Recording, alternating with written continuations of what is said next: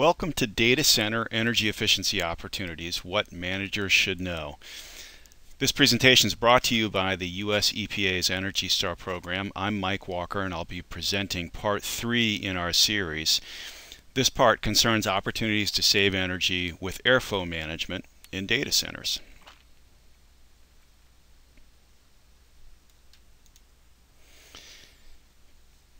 We walked you through a number of opportunities to save energy with the IT equipment that you'd find in a data center. Let's shift gears now and talk about the second major area of opportunity, which is airflow management. Airflow management is simply about getting cold air from the air conditioning units and or fans as efficiently as possible to the server intakes, which are the fronts of servers where cool air is drawn in to cool the equipment. This is not much different in principle than trying to get the cold air register on an AC, uh, a window AC unit aimed in the right direction to cool your bedroom more effectively.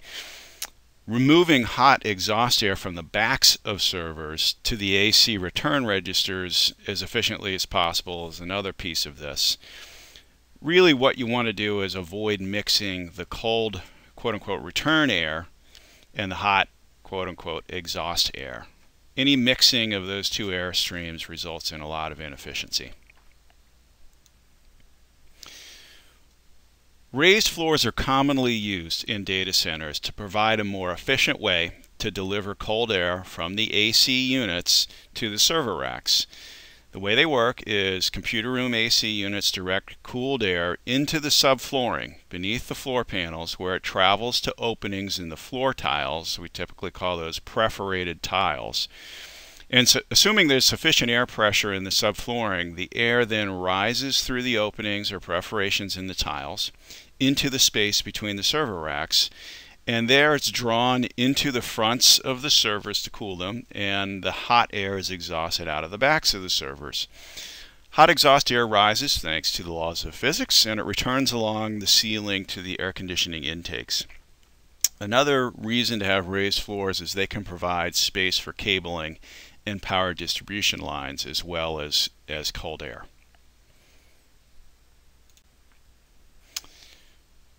Hot aisle, cold aisle is a way of delivering cool air and removing hot exhaust air from server racks more efficiently with a lot less mixing of cold and hot air. It basically works by arranging the aisles of servers so that they're facing each other instead of all facing in the same direction. So as you walk down a cold aisle, you'll see the fronts of servers on both sides. Cold air rises from the floor through those perforated tiles into the cold aisle and it's pulled into the fronts of servers on either side of the aisle. And again, the hot air is exhausted from the servers on both sides of the hot aisle and that rises to the ceiling. This configuration may be better suited for expansion or new facilities rather than retrofitting because there is significant downtime um, associated with reconfiguring server racks. It's also necessary to make adjustments to the heating, ventilation, and air conditioning, um, and it may be necessary to do new cabling. And of course, there's labor and vendor costs as well. So we, we typically see organizations that are expanding into new data center space.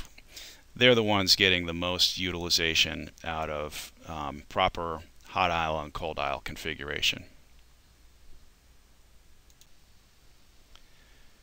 So arranging your server racks into cold aisles and hot aisles isn't a perfect solution. It's still possible that you'll see some hot air mixing with cold air over the tops of these server racks and that's what's going on in this illustration.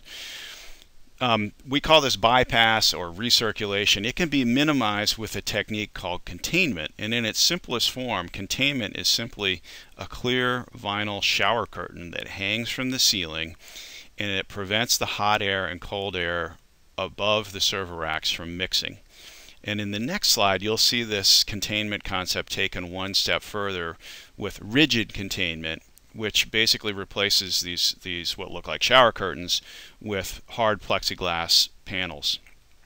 Containment leads to reduced fan speeds, which saves you energy, and it means that the cool air is being delivered to the servers more efficiently so less cooling overall is needed and you'll see savings at the AC unit or the chiller as well as a result of this.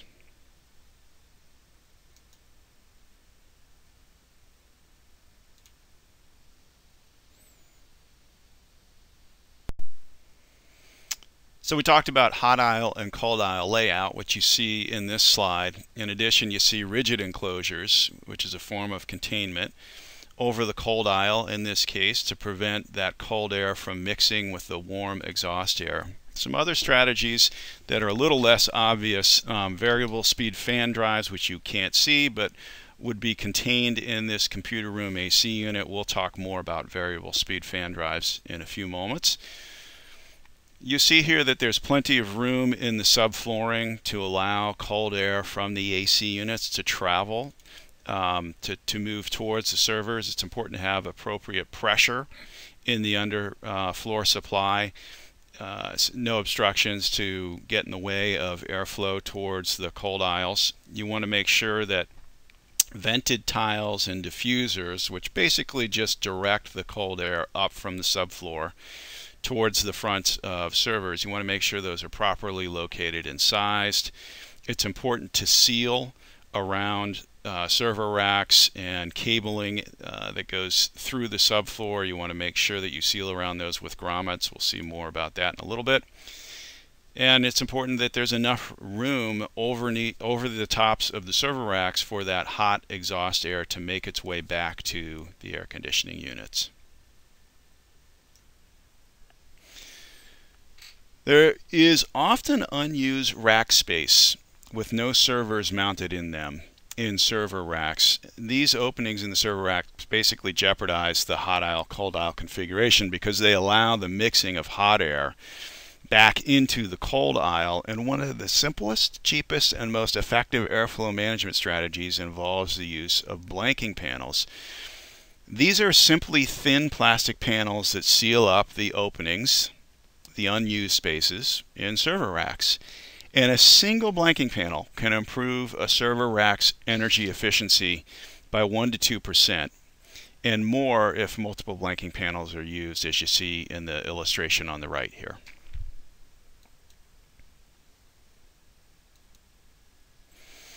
You saw grommets on a previous slide. Here's a closer look. Grommets basically seal openings in the raised floor tiles that are there for cabling and power lines and for bolting down server racks. They result in less leakage of cold air from the subfloor area, and that means more cold air is available to cool equipment.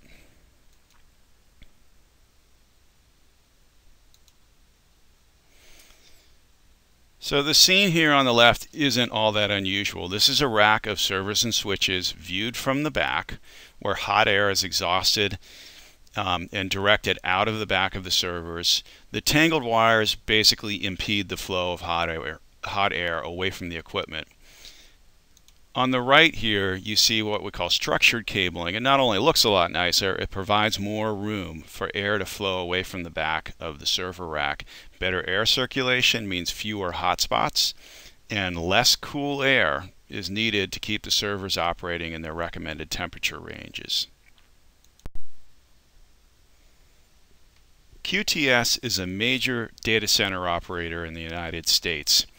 They conducted an airflow audit of sorts at one of the largest data centers in the world, a million square feet.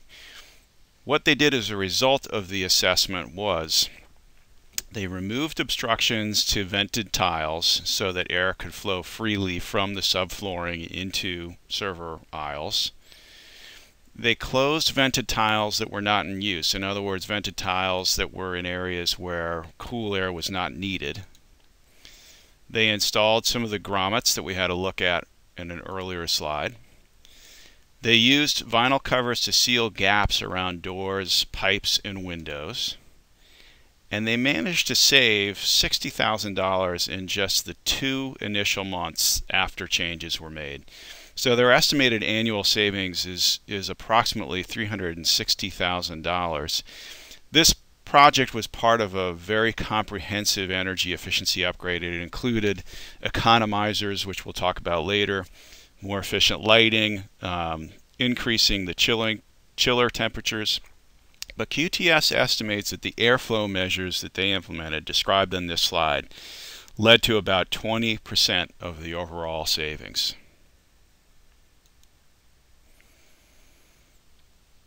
Let's talk about variable speed drives. Standard fans inside computer room AC units are either on or off. And the problem with standard fans is that even if only a little cooling is needed, the fans run at full blast. Variable speed drives allow the fan speed inside the computer room AC units to adjust proportionally to the demand for cool air. And because fans are such a significant share of the data center's energy consumption, making fans more efficient really helps to lower power use. Physics tells us that the power consumed by a fan is proportional to the cube of the speed at which it's running, so reducing the fan speed just a bit has an outsized impact on power use. Many energy efficiency measures such as the cold aisle, hot aisle orientation that we talked about earlier, containment, temperature adjustments, which we'll talk about subsequently to this, free cooling, all of these depend on variable speed fan drives in the computer room ACs uh, in order to fully realize their energy savings potential. So widely recognized as a as a pardon me data center energy efficiency measure that new data center construction is required uh, in California uh, to have variable speed fan drives on the HVAC systems. However, variable speed fan drive retrofits, unlike many other data center energy efficiencies, um, are well understood by utilities and they're often incentivized by utilities. So it's possible um, if you are interested in variable speed fan drives that your utility will help fund the costs of the upgrade. So we would be remiss if we didn't mention some of the considerations around variable speed fan drives. In older computer room AC units, the slower fan speeds that variable speed fan drives deliver can result in condensation or water and ice developing on the coils. Ice is a problem because it restricts airflow across the coils and it may prevent liquid refrigerant from evaporating, which can damage the compressor in the unit. Um, but the bottom line is you need to check with the manufacturer to make sure you can retrofit older AC units with variable speed drives. New units should not have any issues. Also, installing a number of variable speed fan drives in a data center can affect the power quality by introducing harmonic waves. The solution involves ins installing what we call harmonic mitigating transformers. More on that in the next slide. So eBay retrofitted their computer room air handling units with variable speed drives and they saw a tremendous reduction in energy use. The new fans use about a quarter of the electricity of the old fans. And the simple payback was 2.6 years, partly because they had uh, to buy these harmonic transformers that I mentioned on the previous slide. However, the local utility paid for $300,000 of equipment costs, and that resulted in an actual payback of 1.6 years. So, well worth the investment. Thanks again for attending. My name again is Mike Walker. Feel free to reach out to me if you have any questions about this material, and I hope you'll proceed to the next part of this series, part four, which covers ways you can save energy in the data center with heating, ventilation, and air conditioning adjustments and humidity controls, presented by my colleague Robert Wong of the Cadmus Group.